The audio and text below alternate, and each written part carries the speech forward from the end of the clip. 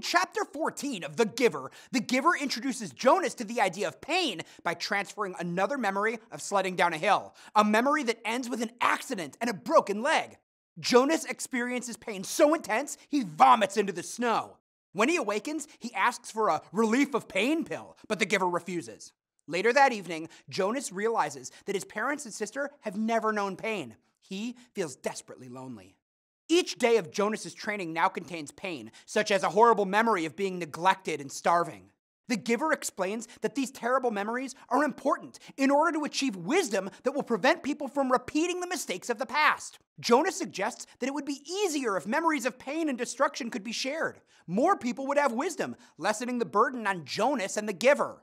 But the giver explains that people don't want the memories of the pain, they just want to be told what to do. Jonas angrily argues that the two of them should try to change things. At home, Gabriel is growing as he should, but is still unacceptably restless at night. Father worries that he may still be released, and Mother says it may be for the best. Father also mentions a birth mother is about to have twin boys, and one of them will need to be released, a decision Father will make. They will release the smaller of the two. Jonas offers to keep Gabriel with him at night so his parents can get a good night's sleep. That night, when Gabriel becomes restless, Jonas pats him on the back to comfort him and recalls a lovely sailboat memory. Without meaning to, he begins to transfer the memory to Gabriel, who becomes calm, and the image grows dimmer in Jonas's own mind. When Gabriel wakes again toward morning, Jonas purposefully gives him the rest of the memory, and the child once again is calmed.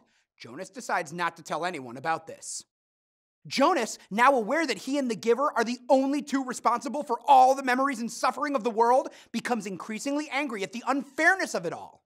Jonas feels increasingly isolated the more he understands. Plus, the image of Jonas's parents as wise and loving adults has been shattered.